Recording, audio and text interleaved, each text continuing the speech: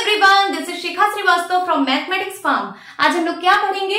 आज हम लोग class seven chapter two that is fraction and decimals में एक्सरसाइज 2.1 का क्वेश्चन नंबर एट सॉल्व करेंगे।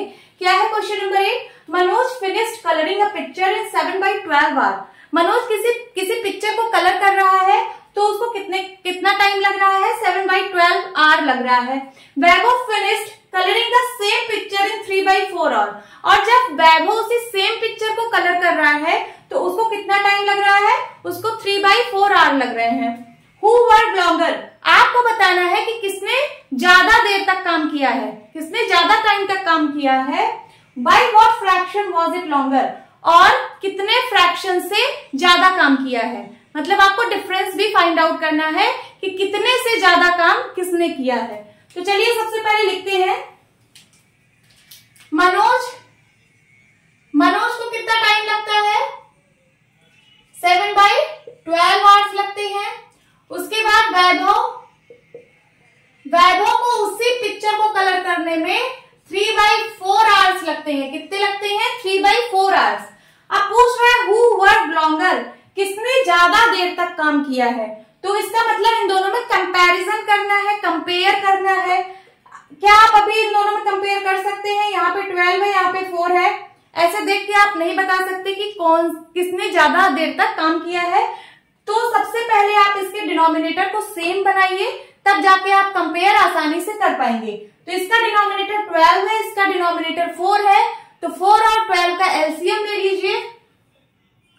फोर और ट्वेल्व का एलसीएम ले लेते हैं। टू से काटिए टू टू जा फोर टू सिक्स जा ट्वेल्व, फिर टू से टू वन जा टू टू थ्री जा सिक्स, अब फिर थ्री से थ्री वन जा थ्री।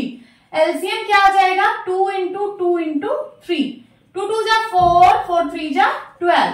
इसका एलसीएम आ गया ट्वेल्व। इसका मतलब इन दोनों का डिनोमिनेटर ट्वेल्व बनाना है। क्या बनाना है? ट्वेल्व। पहले वाला, पहले वाले का तो ट्वेल्व भाई है उसमें कोई चेंजिंग नहीं करनी है। बट जो दूसरा वाला है, इसमें डिनोमिनेटर फोर है।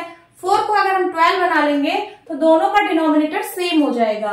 सो so, इसमें मैं कौन से नंबर से ऐसे मल्टीप्लाई करूँ कि इसका डिनोमिनेटर ट्वेल्व बन जाए? फोर को किससे मल्टीप्लाई करें? थ्री से। तो नीचे मल्टीप्लाई किया है तो ऊपर भी थ्री से मल्टीप्लाई होगा। थ्री थ्री जा नाइन फोर थ्री जा ट्वेल्व इतने आर्स तो थ्री बाई फोर का ये इक्विवेलेंट फ्रैक्शन ही है नाइन बाई ट्वेल्व दोनों की वैल्यू इक्वल है इसका मतलब थ्री बाई फोर ही इसको सिंप्लीफाई करेंगे। तो थ्री थ्री जा नाइन थ्री फोर जा ट्वेल्व थ्री बाई फोर ही आपको मिलेगा।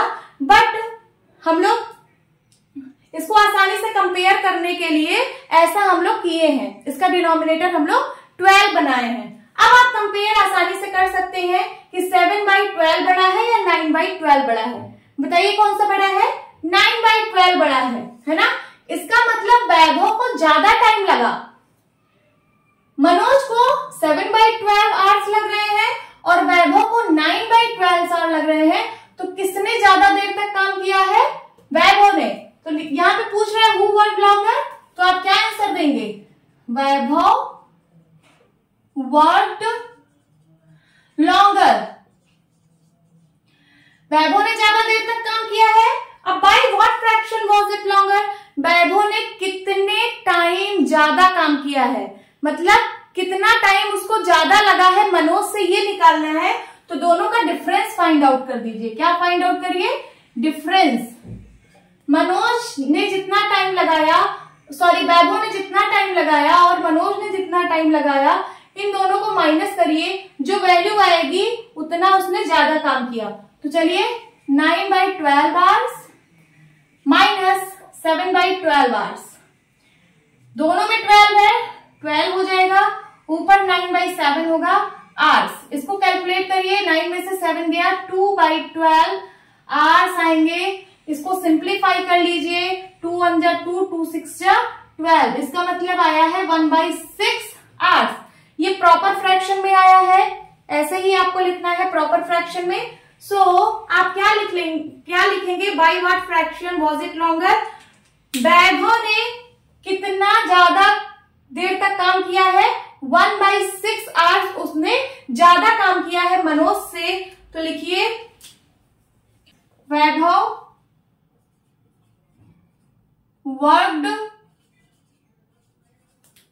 longer than Manoj by कितने hours one by six hours इसका मतलब है वैभव ने मनोज से वन बाई सिक्स आवर्स ज़्यादा काम किया है। समझ में आया? बहुत सिंपल सा क्वेश्चन था। इसमें मनोज का टाइम पता था, वैभव का टाइम पता था। हमने दोनों का डिनोमिनेटर सेम बनाया। तो इससे हम आसानी से कंपेयर कर पाए कि किसने ज़्यादा काम, किसने ज़्यादा देर तक काम किया है। तो यहाँ से पता चला कि वैभव ने ज़्यादा देर तक काम किया है तो वैभव वन लॉन्गर अब कितने से ज़्यादा किया है? मतलब कितनी देर उसने और ज़्यादा काम किया है मनोज से? तो कैसे निकालेंगे? डिफरेंस निकालेंगे. वैभव वाला टाइम ज़्यादा है तो ज़्यादा में से कम को कम को सब्ट्रैक्ट करते हैं। तो ज़्यादा में से मैंने कम को सब्ट्रैक्ट कर दिया।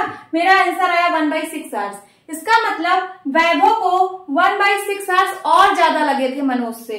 तो आप क्या लिखेंगे statement Vaibhav work longer than Manoj by one by six hours hope students आपको ये क्लास अच्छी लगी होगी, ये क्वेश्चन अच्छे से समझ आया होगा। सो मिलती हूँ अपनी नेक्स्ट वीडियो में, तब तक के लिए bye bye and take care